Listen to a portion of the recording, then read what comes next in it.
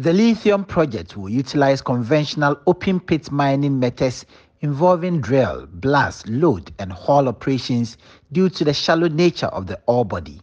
Apart from the Mfantsiman municipality, where huge quantities of lithium have been discovered, the Ekumfi district is being explored by several mining companies for lithium deposits.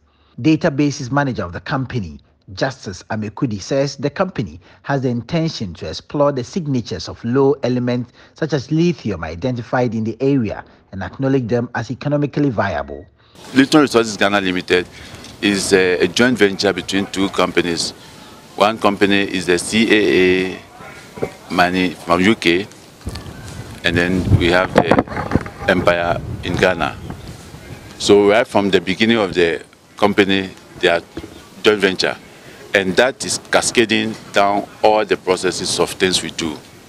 And then the third, the third uh, approach is we don't want to take lithium out of this country in its raw state.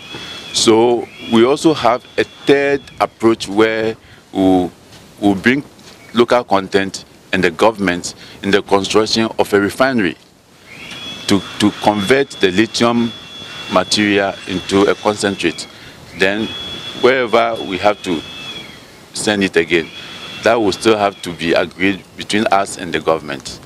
Um, currently, we're looking at uh, a possible place in Takoradi area.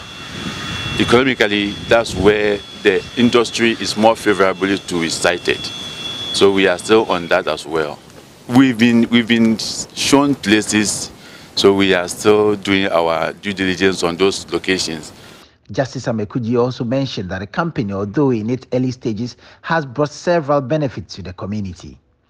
Dominic Apedo, who works with the Lithium Resources Ghana Limited, highlighted some of the benefits the catchment areas of the company have had. We started operation for six months now. The community under which our catchment area, uh, which starts all the way from uh, Otuom, uh, Asamai, and then uh, Abasa precisely have benefited in an enormous way. Uh, Asamai, for example, when we came here, there's no access route. We've tried to create an access route for the community. We're in the process of getting them, trying to upgrade the, the transformer, which has a, a capacity of 50 kV. We're trying to upgrade it to 300 kV which the community will benefit, and in that case, lithium as well. Then when you go to uh, Abasa, uh, we have a plan of helping the Abasa, Enya Abasa Health Center. We've asked them to give us a list of things that are pressing, which they wanted us to help them with. Some of the chiefs have been appealing to government to properly license the company so it can operate effectively. Richard Kujanyako for Joy News.